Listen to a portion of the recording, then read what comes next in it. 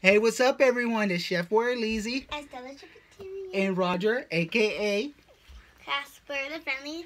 Milky Ghost. Blue Eyes, and we're gonna be trying kiwi berries for the first time. This is what they look like.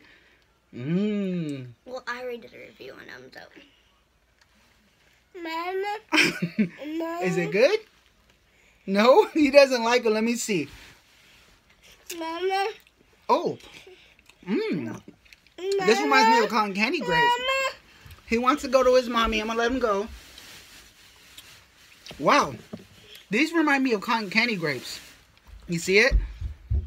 It looks like a little kiwi. Let's see if Roger will take another try. That one I had was sweet. I don't know if he had one that was sweet. You ready, Roger? Let me see. oh, see, he got a sweet one.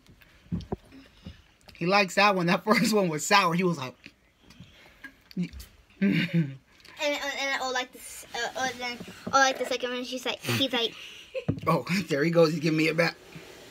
He spit it out. You know, these do remind me of cotton candy grapes. They're super sweet. They almost have the same flavor. Uh, we got it for 99 cents. I say for 99 cents you try at the and 99 Ranch market. Market. But if they're any, if they're more expensive than 99 cents, I say don't give them a try. They are called kiwi berries. You want to try one more? Let's see.